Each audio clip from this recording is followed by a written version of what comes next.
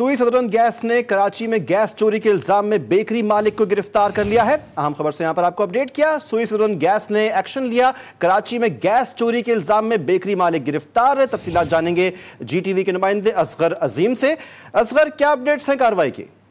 देखिए एसएचजीसी ने ये कार्रवाई की है औरंगी टाउन के इलाके में, जहाँ मिठाई की दुकान और बेकरी में गैस चोरी करके इस्तेमाल की जा रही थी। एसएचजीसी एंटी थिफ सेल ने कार्रवाई के दौरान न सिर्फ़ रंगे हाथों गिरफ़्तार किया, बल्कि मालिक मोहम्मद शब्बीर को लॉकअप भी करवा दिया है, और जबकि जो गैस इस्तेमाल की गई है, उसका एक औसत निकाली जाएगी, उस हिसाब से उस पर जुर्माना किया जाएगा, और मालिक के खिलाफ मुकदमा दर्ज कराया जा रहा है। जी। ठीक तफसीत पहुँचा रहे थे हमारे साथ, हमारे नुमाइंदे।